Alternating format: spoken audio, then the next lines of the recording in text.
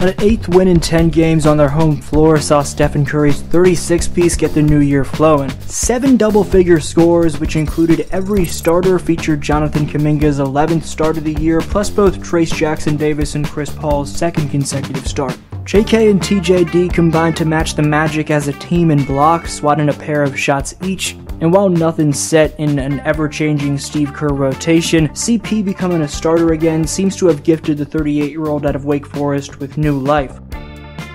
Klay Thompson recorded a game third most 15, plus Wiggs, Loon, and Pods resembled a formidable trio off the bench by combining to outscore Orlando by 24 when they were on the court. Entering a rematch with the reigning champion Denver Nuggets, things are anything but perfect for a team that won the chip the year before those Nugs in the 16 wins, 17 loss dubs. Nevertheless, let's appreciate a patented masterclass from the chef before breaking down how Golden State may be starting to find a flow in their home gym.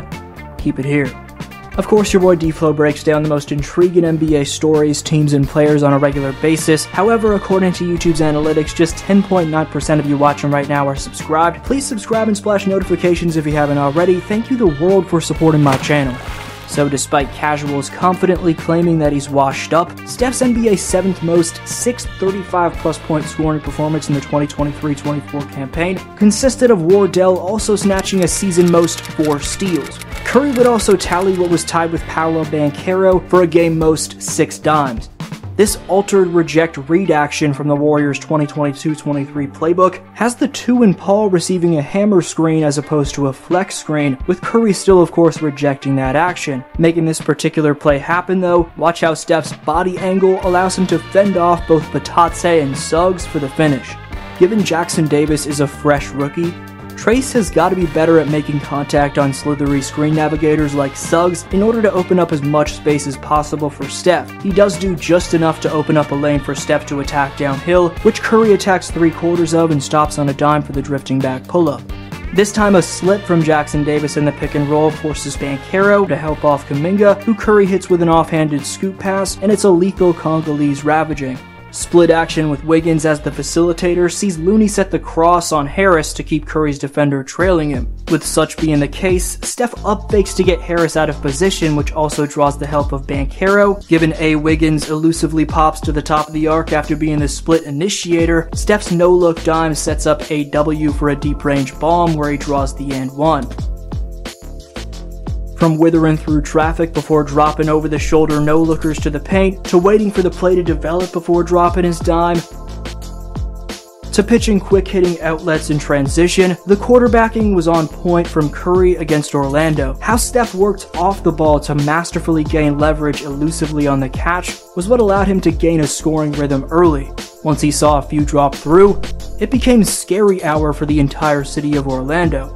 This would allow for the off the dribble sauce to shine through as three consecutive tweens catch Suggs leaning and it's another reckless magic closeout. Steph gets the and one, and you gotta love the home alone silly.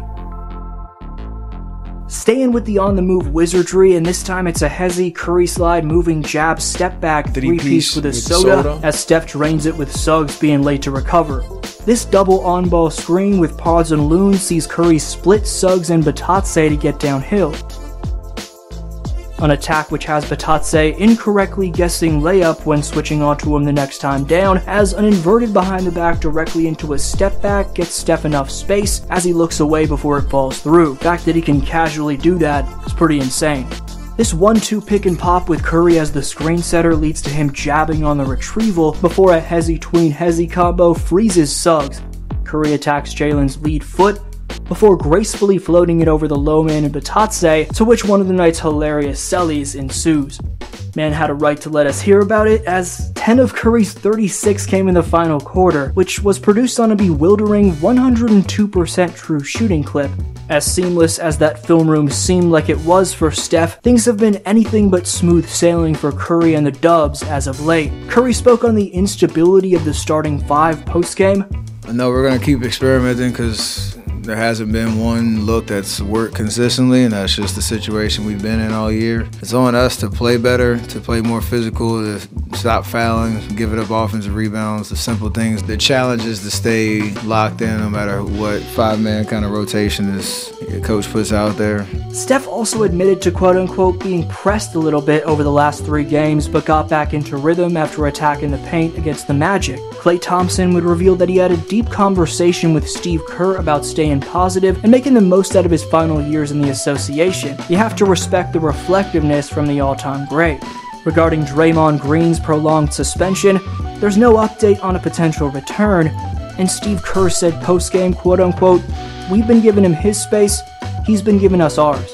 Meanwhile, since being reinserted into the starting lineup, Chris Paul has been revitalized over the past couple outings. First, the future Hall of Famer dropped 24 and 6 in a loss against Dallas, and followed that up by draining all three of his triples in the most recent win over Orlando.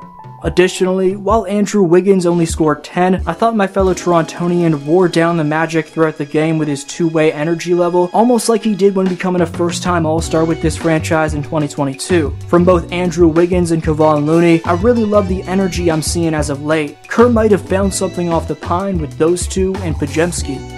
Unfortunately though, as we talked about in my last Warrior video and continuing to be the case, the Warriors didn't receive the benefit of the doubt from the officials whatsoever. Kuminga was called for a flagrant foul on Franz Wagner where he seems to make a play on the ball, while later in the game, Steph was racked in the head, but it wasn't even reviewed for a flagrant. Kevon Looney also had his jersey blatantly grabbed on this drive, but there wasn't even a foul called, as the same inconsistency the Warriors have been accustomed to with the officials again took place.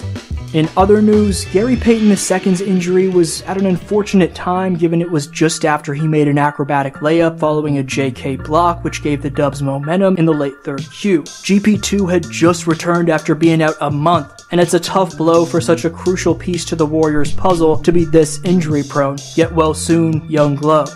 Despite the loss of Draymond while also being without Gary for the most part since Green's suspension, the Warriors taking W's in 6 of their last 10 has consisted of a 5 game winning streak and a close loss on Christmas to Denver that could have gone either way.